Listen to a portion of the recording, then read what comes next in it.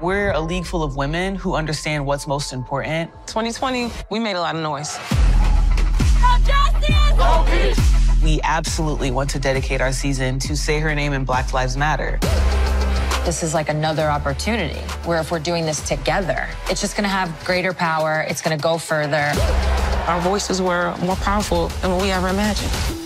There's no way that an owner like Kelly Loeffler is going to work in the WNBA. No one has asked politics to come into sports. When Kelly made her statement, it was very disheartening knowing her role owning a team that is predominantly black women. It felt like the ultimate betrayal.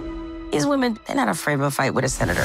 Players are mad. How can you redirect that energy? What can I do? What's action based? Raphael Warnock, he's running in her seat. Started researching him because what do you stand for? It was really important that we hear him talk about these issues. They were laying it all on the line. Players wearing Vote Warnock shirts in support of voting against Senator Kelly Loeffler.